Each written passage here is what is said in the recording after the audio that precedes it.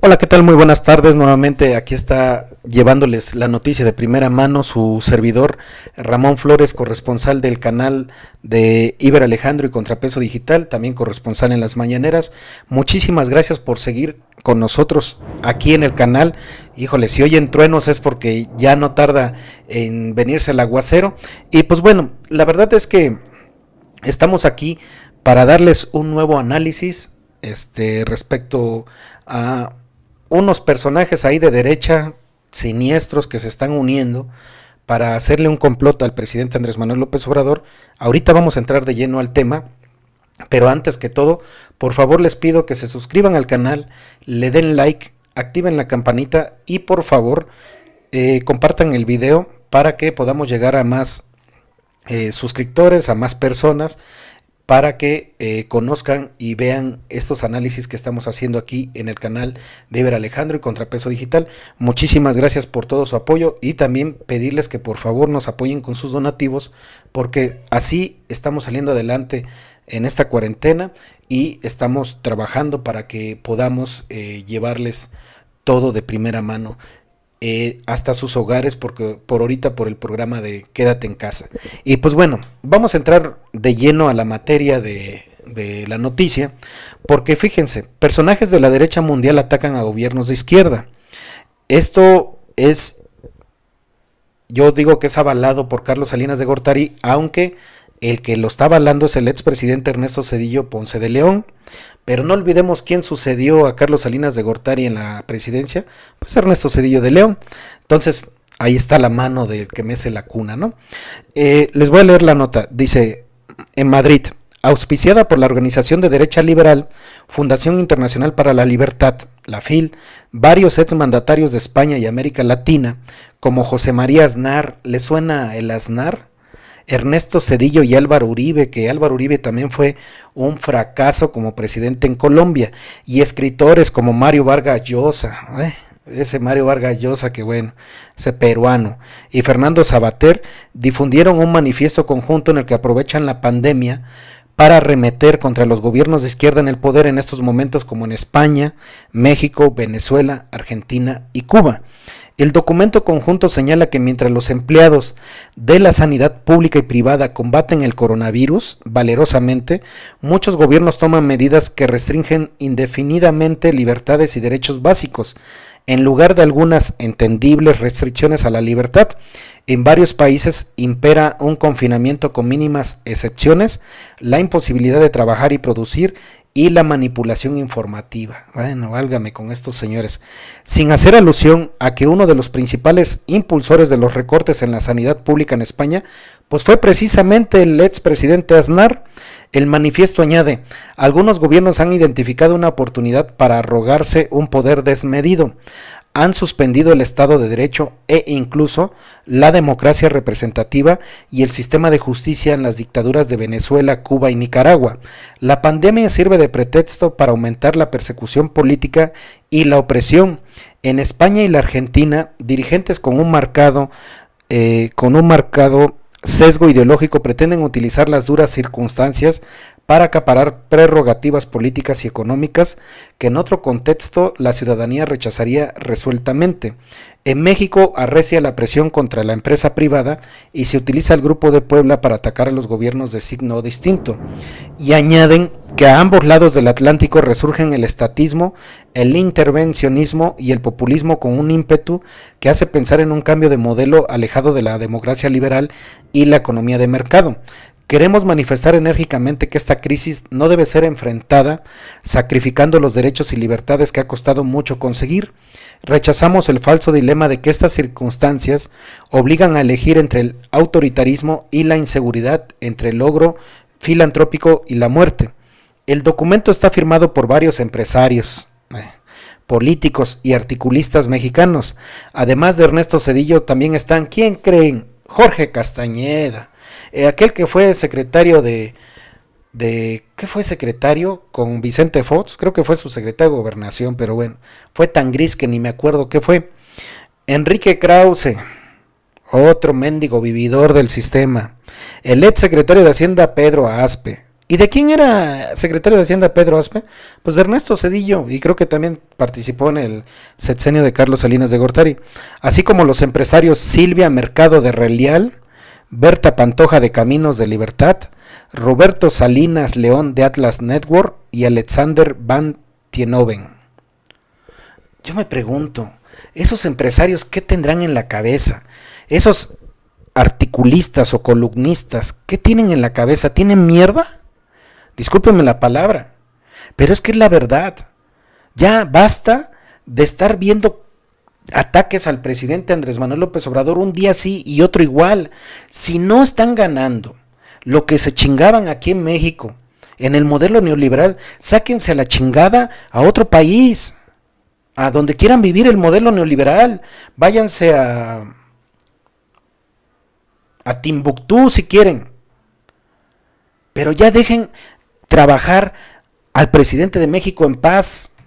Mendigos amátridas. Y les digo amátridas porque ni tienen madre ni tienen patria. No son apátridas. Son unos vendepatria los hijos de la fregada. Porque la verdad es que van a España, allá hacen su reunión para hacer un complot en contra del presidente Andrés Manuel López Obrador. ¿Y por qué no lo hacen aquí en México? ¿Saben por qué? Porque odian a nuestro país, odian a los mexicanos. Les voy a decir por qué, cuál es la causa del enojo de estos articulistas, de estos columnistas y de estos empresarios. El enojo no es porque sea presidente el licenciado Andrés Manuel López Obrador, es por lo que él representa. Porque el presidente Andrés Manuel López Obrador representa el mexicano promedio, que somos el 98% de México, que salimos a rompernos la madre para llevar el sustento a nuestro hogar todos los días. Es el mexicano que llegó a ser presidente de la República sin deberle nada a nadie, sin deberle a ningún empresario, sin deberle a ningún columnista, sin deberle a ningún articulista. Por eso él tiene la calidad moral para mandarlos a la chingada a todos y ustedes no tienen, pero ni un argumento así para poderle debatir, porque no le deben, no les debe nada a él a ustedes. No les pidió el apoyo para ser presidente de la República y les ganó. Y les ganó con una estrategia tan chingona que espero poder vivir para ver nuevamente una estrategia así que, y que creo que no la volveré a ver. Porque estos líderes se dan cada 100 años. Y por favor, dejen trabajar al presidente Andrés Manuel López Obrador porque él es el único que está amando y rearmando este país que dejaron hecho un mierdero los Fox, los Calderón, los Peña Nieto y toda esa pinche bola de corruptos que simplemente sirven para ser vividores del sistema. Y pues bueno, les sigo leyendo. El manifiesto también está firmado por los ex mandatarios Mauricio Macri, Macri, ¿cómo dejaste Argentina, eh? A mí me gustaría que la gente que nos ve a nivel internacional, si tenemos gente que es de Argentina, nos dejen aquí en la caja de comentarios cómo les dejó Mauricio Macri el país de Argentina.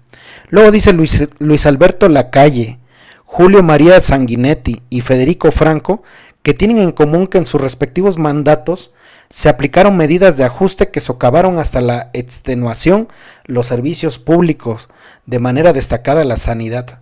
Pues bueno, nada más para que vean ustedes cómo firman un documento como si ellos fueran los salvadores del mundo y no se acuerdan las pendejadas que hacían en su sexenio. Ahí tenemos otro ejemplo del comandante Borolas, que ahora él dice, que ahora él dice que este que está muy muy conforme con su pues con su mandato, ¿no? Pero yo les voy a mostrar una imagen nada más para que vean ustedes y ahí la tengo en mi Twitter. Este, les quiero mostrar esta imagen para que ustedes eh, puedan tenerlo, puedan verlo, perdón, permítanme. Nada más permítanme, déjenme ver, déjenme encontrar aquí Facebook porque la tengo en mi Twitter y la tengo en Facebook. Aquí está, miren. Este, la verdad es que estamos trabajando aquí, disculpen, pero este nosotros pues no tenemos asistentes, ¿no? Ahorita este ah, miren, lo tengo en el otro. Perdón, perdón, pero es que tenemos que estar este en todo. Miren. Ahorita se la voy a mostrar porque esta imagen a mí me ha este me ha puesto pues a pensar porque este me la mandó un amigo y ahí está, miren. Ahí está. Se la voy a, se la voy a leer rapidísimo. Porque aquí le ponen una palomita y, una, y un tache, ¿no? Para nada más para que vean. Bueno, el quién es quién entre Calderón contra Andrés Manuel López Obrador, quién es quién ante las crisis. Uno que fue en el 2009 en el H1N1 y el otro fue, el otro es el presidente Andrés Manuel López Obrador que es el COVID 2019. ¿Quién creó nuevos impuestos cuando fue la pandemia del H1N1? Calderón. ¿Ha creado nuevos impuestos el presidente Andrés Manuel López Obrador? ¿Quién pidió el préstamo al Fondo Monetario Internacional para combatir la crisis económica? Pues fue Calderón en el H1N1. ¿Ha pedido préstamo el presidente en el COVID-19? No. ¿Quién aumentó los impuestos en la pandemia del H1N1 o en la influenza? Pues Calderón. ¿Ha aumentado impuestos ahorita el presidente con lo del coronavirus? No. ¿Condonó impuestos a empresarios multimillonarios? Calderón. ¿Ha condonado impuestos el presidente a sus amigos empresarios? Apoyó a pymes con microcréditos, Calderón no les dio nada. Y ahorita el presidente les está dando 25 mil pesos a microempresarios. Brindó apoyo económico a familias de escasos recursos, Nanay, Calderón no les dio nada. El presidente sí les, les dio incluso un adelanto de, de cuatro meses a los eh, adultos de 60 y más. Luego dice, ¿aumentó el precio de la gasolina? Pues sí, Calderón aumentó el precio de la gasolina en la pandemia, bueno, en la influencia del H1N1 y el presidente no la ha incrementado. ¿Disminuyó el precio de la gasolina? No. Y sí se disminuyó con Andrés Manuel López Obrador. ¿Construyó y rehabilitó hospitales? No. Calderón no hizo ni madres, nada más lo único que hizo fue este, hacer una estela de luz que con eso se hubieran hecho más de 11 o 15 hospitales y no hizo ningún hospital. Y el presidente sí ha estado haciendo hospitales. ¿Creó nuevos empleos? No, nunca creó empleos Calderón y eso que se llamaba el presidente del empleo, pero pues bueno. Y sí se está creando nuevos empleos con el presidente Andrés Manuel López Obrador. Contrató médicos y personal de enfermería tampoco. Nunca contrató este Calderón médicos y personal de enfermerías. El presidente Andrés Manuel López Obrador sí. Eh, redujo salarios de altos funcionarios, nada. Calderón no hizo ni madres. Y el presidente Andrés Manuel López Obrador sí redujo los salarios de altos funcionarios. ¿Donó su aguinaldo? No, tampoco lo donó Calderón. Sí lo donó el presidente Andrés Manuel López Obrador.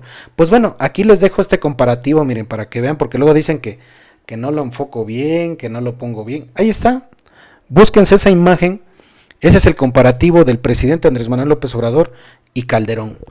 Por eso Calderón odia al presidente Andrés Manuel López Obrador y está chingando un día sí y otro igual.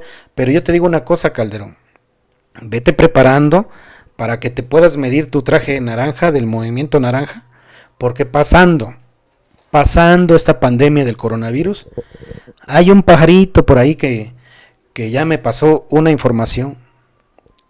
Y el levantamiento de imagen de Donald Trump no va a ser el que construya un muro, no va a ser el que ataque a Venezuela, viene por un expresidente mexicano, así me lo dijeron, viene por un expresidente mexicano y ese, de seguro, se llama Felipe Calderón, porque no hay nada más que odien los políticos de Estados Unidos que los presidentes se, se coludan con el narcotráfico. Y está comprobado que Calderón estuvo coludido con el narcotráfico, nada más vean en dónde está su secretario de Seguridad Pública, Genaro García Luna, en Nueva York, y el próximo que le va a hacer compañía vas a ser tú, Felipe Calderón. Y pues bueno, muchísimas gracias por haber estado aquí con nosotros, muchas gracias por seguirnos viendo, muchas gracias por eh, darnos esa confianza. Y por favor les pedimos que se suscriban al canal, denle like, activen la campanita, compartan el video para que podamos llegar a más personas. Y muchísimas gracias por habernos acompañado. Por favor, apóyenos con sus donativos, que con esto estamos saliendo adelante en la pandemia del coronavirus. Y por favor quédense en casa, disfruten su fin de semana familiar, pónganse a jugar, vean películas, hagan lo que tengan que hacer, pero siempre y cuando diviértanse mucho. Que tengan una excelente tarde, bonito fin de semana y nos vemos el próximo lunes nuevamente en Contrapeso, bueno, en Iber Alejandro y Contrapeso Digital. Reportó para ellos su servidor Ramón Flores. Que tengan una bonita tarde. Hasta luego.